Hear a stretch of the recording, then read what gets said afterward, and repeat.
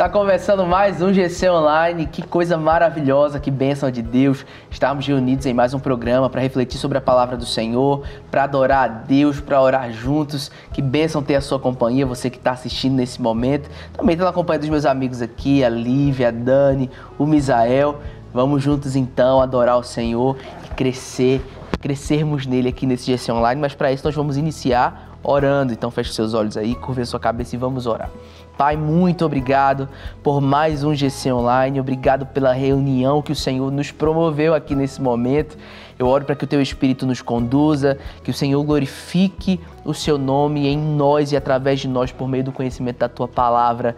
Em nome de Jesus oramos. Amém, amém e amém. Vamos adorar o Senhor.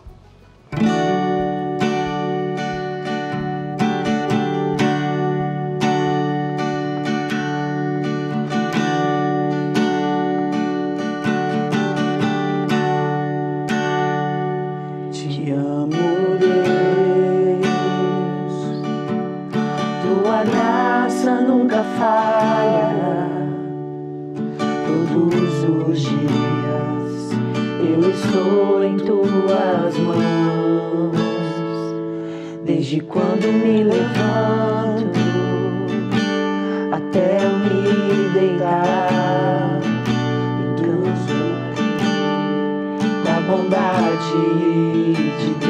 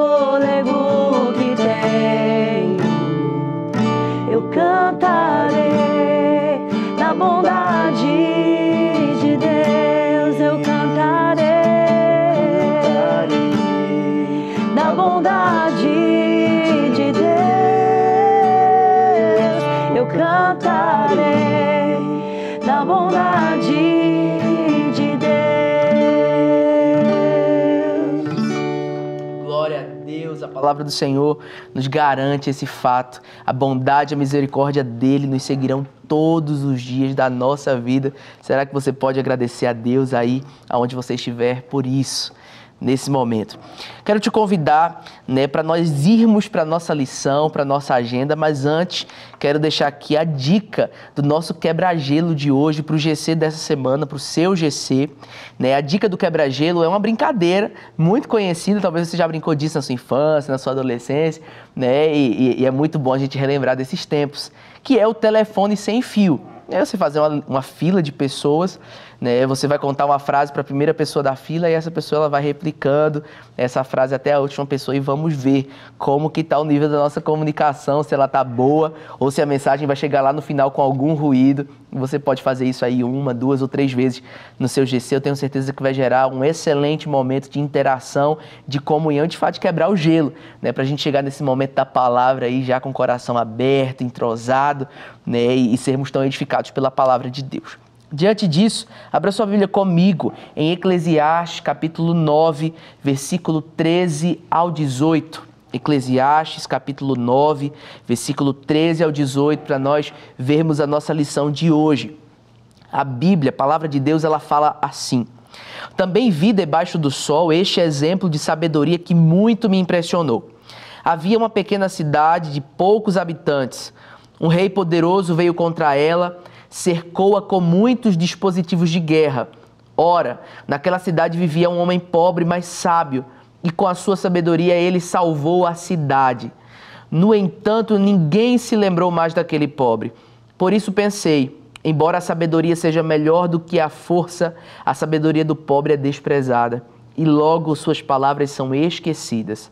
As palavras dos sábios devem ser ouvidas com mais atenção do que os gritos de quem domina os tolos. A sabedoria é melhor do que as armas de guerra, mas um só pecador destrói muita coisa boa. Meu Deus, como isso nos faz refletir. A lição de hoje, ela tem por título o controle da vida está nas mãos de Deus. E se tem uma coisa que acontece quando a nossa vida ela está nas mãos de Deus é que o Senhor ele guia a nossa vida. E quando ele e como Deus pode guiar a nossa vida? Uma das formas desse conduzir de Deus sobre a nossa vida é trazendo sabedoria dele ao nosso coração é trazendo a graça dele a nós. Né? A Bíblia fala que o Espírito Santo que habita em nós, ele nos ensina todas as coisas. É o papel do Espírito Santo, né? é uma das funções, é o ministério do Espírito Santo nos auxiliar, nos conduzir. E o Espírito Santo traz essa sabedoria do próprio Deus sobre nós. E a sabedoria também nos ajuda a valorizar as pessoas não pelo que elas têm, mas pelo que elas são, pela, pela sabedoria também que elas têm para compartilhar com a gente. Assim como esse texto de Eclesiastes 9, do 13 ao 18, revela para nós uma situação, né, um exemplo em que é, um homem não foi valorizado mesmo sendo sábio porque ele não tinha recursos financeiros, ele não tinha riquezas para oferecer. O que ele tinha era a sua sabedoria. E a valorização daquele homem não foi lhe dada, a valorização que lhe era devida não foi dada a ele, porque ele não era um rei, ele não era um grande político, ele não tinha, não tinha uma grande influência social. E quantas vezes na nossa vida também não acontecem situações parecidas? Nós vivemos em um mundo extremamente materialista, em uma sociedade, né, a sociedade do nosso tempo, do nosso século é tão materialista e ela valoriza as pessoas não por quem elas são, mas pelo que elas têm. E isso não é sábio. Isso não é sabedoria de Deus. Isso são pessoas que valorizam as outras por materiais, por matéria, por bens, por recursos. E a palavra de Deus nos ensina a olhar, a enxergar as pessoas por uma outra ótica, de uma outra forma, não sendo materialistas, não valorizando pelo que as pessoas têm, mas valorizando por, por quem elas são né, e quem são em Deus. Se nós olharmos pela ótica de Deus, nós vamos observar que Deus valoriza tanto pessoas que Ele entregou o seu único filho para morrer na cruz do Calvário. Quem daria um bem mais precioso do que esse por outra pessoa que não tinha nada para oferecer? Nós não tínhamos nada para oferecer a Deus e ainda assim Deus resolveu sacrificar o seu único filho para colher a nós, para que nós nos tornássemos filhos dele pela fé. Então nós precisamos, de fato, valorizar as pessoas e a sabedoria das pessoas. Né, às vezes vê uma pessoa assim que a gente não conhece ou que né, não tem tanta postura, ou não está tão bem vestida, a gente logo rejeita o que aquela pessoa tem para falar. Nós não podemos ser assim, porque essa não é a ótica do Evangelho, não é, meus amigos? Com é, certeza. Exatamente. é interessante né, que aqui no objetivo fala assim: o autor contar tal história de desprezo da sabedoria do homem que salvou aquela cidade quer nos voltar a uma importante lição. Esta é de que as palavras do sábio devem ser ouvidas com mais atenção. A sabedoria é melhor, ou seja, não devemos replicar o que foi feito na história e ignorarmos os sábios, mas sim ouvir a sabedoria, pois esta é muito valiosa. É como pastor, por exemplo, cuidando de uma igreja. Aí ele olha para trás e fala assim: mas a história, não a história da igreja, assim, a história dessa igreja que Atos, não. A história me diz que o fulano fez assim, o Beltrano fez assim, eu continuarei fazendo assim. Mas essa é a vontade de Deus? Isso foi o que Deus te mandou fazer? Essa sabedoria, esse entendimento veio de Deus? Por exemplo, ao criar o filho, minha mãe fez assim, o meu pai fez assim, os meus avós fizeram assim, eu vou continuar fazendo assim. O que Salomão está falando é o quê? A gente não pode ignorar os sábios. Às vezes você recebe um conselho de alguém sábio e aquilo é diferente do que você está acostumado a fazer. ou do que sua geração toda para trás fez. Mas aquela sabedoria, aquela palavra de sabedoria veio de Deus, devemos acatar a isso. Nós devemos buscar a sabedoria que vem do alto e ouvir a sabedoria das pessoas, ouvir aquilo que o sábio está tentando dizer. E é assim também no casamento, por exemplo. Eu gosto muito de ler livros sobre casamento, de ler livros sobre filhos. A minha base é a palavra de Deus, mas eu posso aprender com os sábios que estão tá aí né? Luciano Subirá, com a sua família, toda ali aos pés do Senhor, Josué Gonçalves, Cláudio Duarte, tá aí falando sobre família, falando sobre criação, falando sobre casamento. Então eu busco na palavra de Deus, mas eu busco também a experiência desses sábios, de coisas que deram certo, e eu não preciso replicar aquilo que está na história. Né? A história da minha família toda foi assim, fez assim. Tá, mas Deus está me mostrando um novo caminho. Deus está me mostrando um, um novo jeito de fazer. Deus está me guiando num, num, novo tempo, me trazendo palavras sábias. Então, eu tenho que ser inteligente e acatar aquilo. Eu tenho que entender e valorizar. É interessante, né, que aqui fala assim que aquele é, sábio deu aquela, aquela palavra e salvou aquela cidade, depois ele não foi reconhecido. Nós temos que valorizar as palavras que nós temos de sabedoria e aquelas pessoas que nos trouxeram aquela palavra. Né? Veio de Deus, veio de Deus, mas Deus usou como instrumento a vida de uma pessoa, então eu devo honrá-la. Né? A minha avó era uma mulher muito sábia, muito, é, ela aprendeu ler, é, é, ler a Bíblia, lia a Bíblia toda, e todo tipo de conversa, ela virava e falava assim, lá, abre lá a Bíblia, ela fazendo comida, ela falava, abre lá a Bíblia em Romanos, tal, tal, tal. Lê lá o que que diz. E eu, eu eu nem estava nos caminhos do Senhor. Eu falava, não vou ler não, vó. Ela falava, abre lá e lê. ela fazendo comigo, eu tinha que pegar a Bíblia, ficar a Bíblia ficar em cima da mesa. Tinha que pegar a Bíblia e ler. Ela falou, entendeu? Tá, aí, tá vendo o que está falando aí? Então, você tem que prestar atenção nisso. Então, assim, é uma mulher, uma mulher sábia, que entendeu a sabedoria, essa sabedoria que vem do alto, que vem da palavra. Então, eu ouvi aqueles conselhos, ainda que eu não quisesse fazer aquilo. Eu ouvia, entendia e honrava a vida dela, porque eu via a sabedoria de Deus. É, tem um, uma frase né, que diz: é, visite bons livros e habite na Bíblia, habite na palavra de Deus. Exato. Isso é muito interessante, porque na palavra de Deus nós vamos encontrar os princípios para a uhum. nossa vida. E nesses bons livros nós vamos encontrar aplicações desses princípios, aplicações práticas. De fato, a Bíblia ela tem resposta para todas as coisas na nossa vida. Ela tem toda a sabedoria para compartilhar com a gente. É, e, e, bons livros baseados na Bíblia vão trazer aplicações práticas que vão enriquecer tanto a nossa vida, vão, como né, a Dani está falando aqui, é, fazer com que a gente até se proteja de alguns erros que já foram cometidos por é. outras pessoas. Né? Isso é inteligência, isso é sabedoria. Você olha para o erro dos outros para você não replicar, para você não repetir. Né? Então, a gente, de fato, é, bem importante, é uma dica muito legal, a gente ter essa, essa, esse equilíbrio, né? buscar o princípio na palavra, que é fundamental, que é o mais importante, e visitar bons livros também, para que a gente tenha boas aplicações desses princípios tão É interessante, né, que eu vi uma pessoa falando esses dias, assim, é uma história, eu não lembro exatamente do que é, mas é assim, a, a, ela virou e falou assim, é, você faz isso que você faz, por quê? Aí a pessoa falou assim, peraí, ela tentou saber por quê, se tinha algum nexo, assim, racional. Peraí, você acredita que eu não sei? Mas assim, a minha mãe fazia assim. Ah, você já perguntou para sua mãe por que, que ela fazia assim? Foi perguntar, mãe, por que, que você faz assim? Não, a minha mãe fazia assim, a sua avó. Ah, então pergunta para sua avó, por que, que você fazia assim? Não, a minha bisavó fazia assim. Então tem coisas que não tem nem nexo. É igual quando a criança nasce. Aí o Misa tá com um nenenzinho de quatro meses. Aí quando a criança nascia antigamente, gente, custava abrir o olho.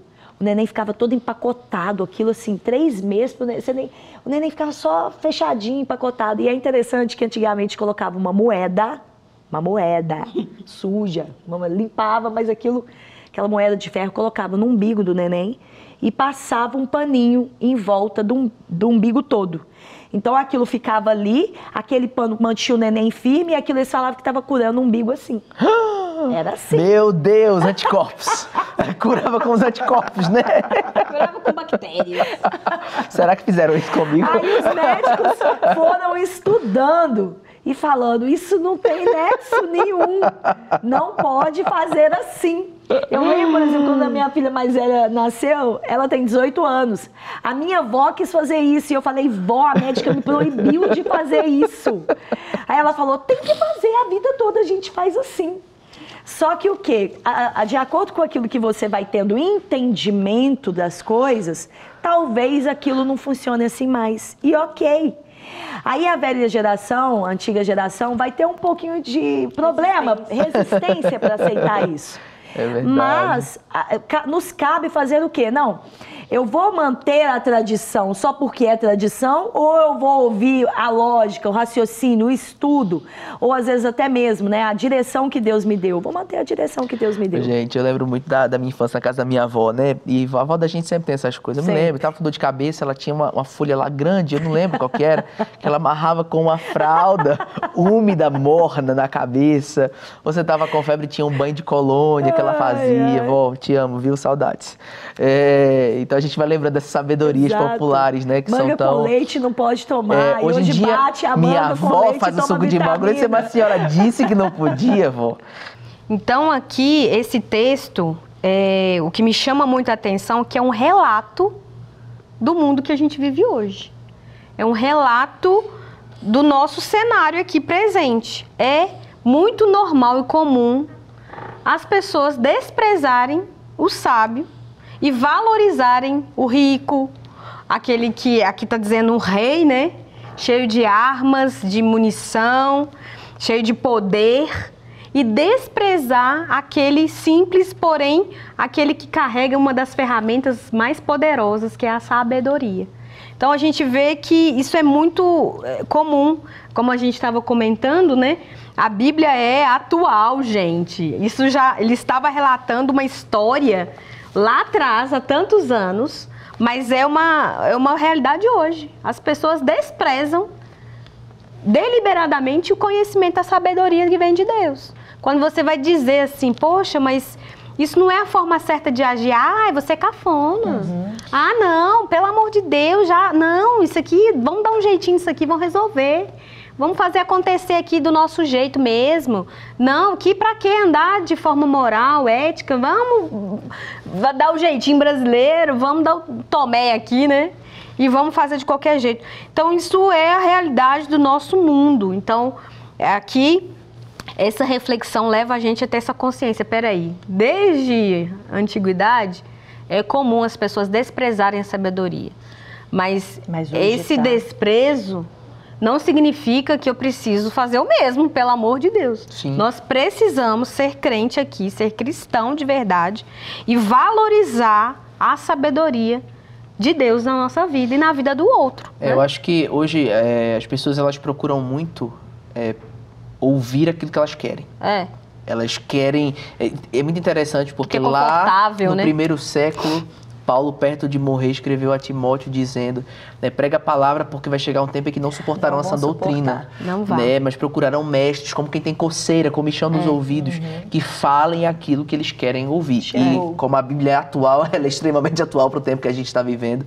Né, já no século 21, né, 20 séculos depois a gente está aqui com a mesma problemática. As pessoas, elas dão ouvidos àquilo que elas querem. Elas valorizam uma sabedoria que não é sabedoria. É. Não é a sabedoria do céu, não é a sabedoria verdadeira. Elas valorizam aquilo que a fala que vai agradar, que vai afagar o ego, que vai é. inflar o ego, é. né? mas só vai inflar com ar, com vento. Não tem verdade, Vazio. não tem consistência, não tem alimento sólido. As pessoas querem conforto para o seu erro. É. Conforto imediato, né? Exatamente. E é interessante, por exemplo, você, você dá um conselho para a pessoa assim, né? Bíblico, algo que, cheio de sabedoria. Olha, perdoa. Vamos supor, acontece algum caso assim, você fala, perdoa. Ah, mas é, é eu que tô certo. Não, mas perdoa. Faz, faz morrer o seu ego, o seu eu. Vai lá, libera isso pede perdão. Aí a pessoa pega e vê um vídeo no YouTube, no Instagram que fala assim: "Não, essa pessoa te feriu, afaste-se dela". Fique longe dela, é pessoa tóxica, você não pode conviver com essa pessoa. Gente, tem pessoas que são tóxicas mesmo e a gente não pode estar perto dela o tempo todo, mas o nosso coração tem que estar liberado. É. Então, o nosso dever é pedir perdão. Só que nós preferimos pegar aquilo que nos é mais confortável. Então, não, eu não vou ouvir aquela palavra que o meu pastor me deu, que o meu líder me deu, de perdoar. Eu vou ouvir esse aqui, que tá Fala para fazer mim. o que eu quero. Tá melhor para mim. Então as pessoas Me não querem confortável, viver. né? É, não querem viver na sabedoria. Nós, é realmente é o que a Lívia falou. Hoje o mundo ele quer andar o contrário, o inverso do que é sabedoria, porque o ser humano ele precisa de um norte para viver. E esse norte é Deus, esse, esse norte é a palavra de Deus, é a sua sabedoria. Então o mundo hoje está de, é, destruindo todo tipo de norte. É. Não existe verdade mais. É. Não existe sabedoria mais. Tudo pode ser, sei lá, uma coisa quase que abstrata, né? E se tem uma coisa que emborrece o ser humano é o pecado, né? É, tá doido. O pecado tira tudo aquilo que é puro, é que é mesmo, moral, que é ético. É. Que as pessoas estão cada vez menos inteligentes, para não falar burro. Né? Misericórdia. É essa sensação. Mas é. Nos ajuda, Deus. E é tão importante isso que perceber que a nossa vida está no controle da, nas mãos do Senhor. É, olha o verso 17. Ele fala assim: a primeira parte dele é assim: as palavras dos sábios devem ser ouvidas com mais atenção. E dando um exemplo de uma coisa que aconteceu comigo um dia, eu estava dirigindo num bairro aqui de Belo Horizonte e aí eu ia subir uma rua. Quando eu ia subir essa rua, eu ouvi um, um moço gritando assim: não sobe aí, porque lá na frente vai ter um morro muito pesado, seu carro não vai conseguir subir, é perigoso. Aí eu ouvi ele, dei uma rezinha, aí eu perguntei para ele: então o que, que eu faço? Você segue direto, lá na frente você dá a volta e pega por cima. É, o, o meu querer era subir ali porque era melhor para mim, era mais rápido, né? Eu ia ganhar mais tempo subindo ali. Mas naquele momento, quem que era o sábio? O Senhor. E quem estava usando aquele Senhor no controle da minha vida? Deus. Porque poderia eu passar por ali talvez o carro poderia voltar, o carro poderia perder o controle, como já aconteceu. Belo Horizonte é uma cidade repleta de morros. é, não é muito difícil encontrar um morro para subir. Fim. Então, muitas vezes a gente precisa saber e chegar em algum lugar onde nós não conhecemos e ouvir os conselhos que estão sendo nos dados. Era um senhor simples, talvez nem saber dirigir, ele sabia. É né? E eu poderia falar, não, eu sei como que sobe aqui, eu coloco a primeira, vou devagarzinho no piso, eu tenho experiência nisso, o meu carro, mas eu preferi ouvir o Senhor, dar a volta, é, eu é, é, é, entendendo que o Senhor Deus, que estava controlando toda aquela situação, eu precisei ser, é, é, ter um entendimento de que aquele Senhor, ele estava sendo boca de Deus, sábio, para me dar uma instrução naquele momento. Quando o trânsito está é, é, é, terrível é, e nós estamos parados no engarrafamento, é, é o Senhor controlando a nossa vida, que talvez num trânsito mais rápido, naquela situação, naquele dia, poderia acontecer alguma situação de um acidente. É, e o Senhor está nos livrando disso. E é sábio a gente saber ter o discernimento de reconhecer isso. Exatamente. E saber que Ele está controlando tudo o tempo todo na nossa vida. Amém, amém. Exatamente. Glória a Deus por isso. Né? Em resumo de tudo isso que o Misael falou, acho que uma frase grita ao meu coração que a sabedoria nos protege. Uhum. A sabedoria nos livra. Por isso nós precisamos buscar de Deus essa sabedoria. Né? Eu falando muito nos discipulados, as pessoas perguntam: "Ah, mas eu precisava de uma direção de Deus, eu queria ouvir a voz de Deus, ah, porque Deus não usa ninguém para falar comigo". Tem gente que fala assim: "Deus não usa ninguém para falar comigo".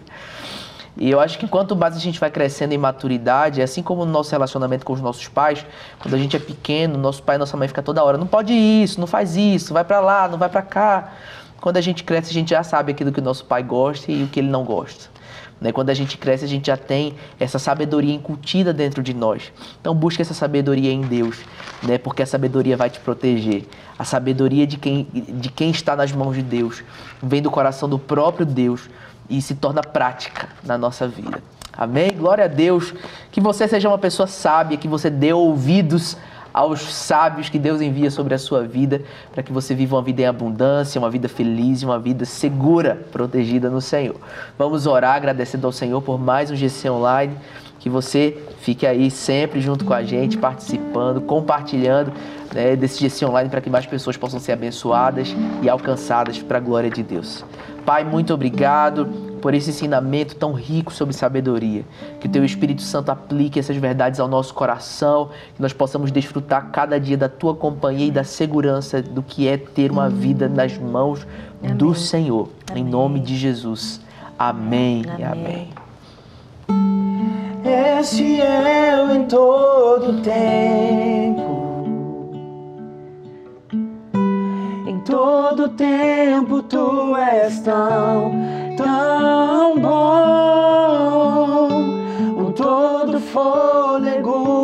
tenho, eu cantarei da bondade de Deus.